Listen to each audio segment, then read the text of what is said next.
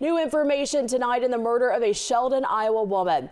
According to the Iowa Department of Criminal Investigation, 62-year-old Jody Lynn Duskin was found dead inside her home in Sheldon March 23rd by a family member.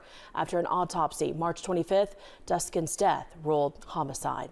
Authorities have arrested Nathaniel Castle who is Duskin's son. Castle is currently facing charges of first degree murder and being a felon in possession of a firearm. He's currently in custody at the Brookings County Sheriff's Office in South Dakota.